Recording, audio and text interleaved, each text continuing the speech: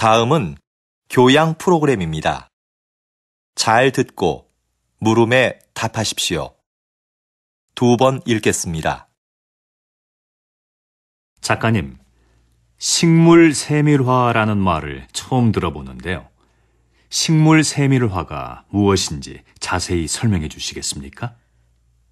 식물화와의 차이점을 말씀드리면 이해하기가 쉬우실 것 같아요. 식물화는 화가가 감정을 넣어 식물의 아름다움을 표현하잖아요. 그런데 식물 세밀화는 감정을 배제한 채 식물의 형태를 있는 그대로 자세히 그려요. 식물의 기록을 사진으로 남기지 않고 왜 그림으로 그리냐고 묻겠지만 사진은 식물의 미세 구조까지 표현하는데 한계가 있습니다. 생태계 기록에 중요한 꽃잎의 개수나 뿌리 모양 같은 거 말이죠. 그래서 식물학계에서는 사진보다 식물 세밀화를 중시합니다.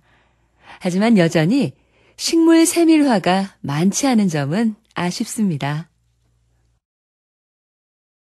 다시 들으십시오. 작가님, 식물 세밀화라는 말을 처음 들어보는데요. 식물 세밀화가 무엇인지 자세히 설명해 주시겠습니까? 식물화와의 차이점을 말씀드리면 이해하기가 쉬우실 것 같아요. 식물화는 화가가 감정을 넣어 식물의 아름다움을 표현하잖아요. 그런데 식물 세밀화는 감정을 배제한 채 식물의 형태를 있는 그대로 자세히 그려요. 식물의 기록을 사진으로 남기지 않고 왜 그림으로 그리냐고 묻겠지만 사진은 식물의 미세 구조까지 표현하는데 한계가 있습니다.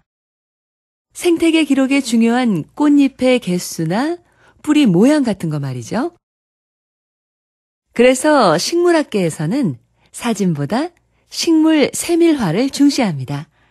하지만 여전히 식물 세밀화가 많지 않은 점은 아쉽습니다. 37번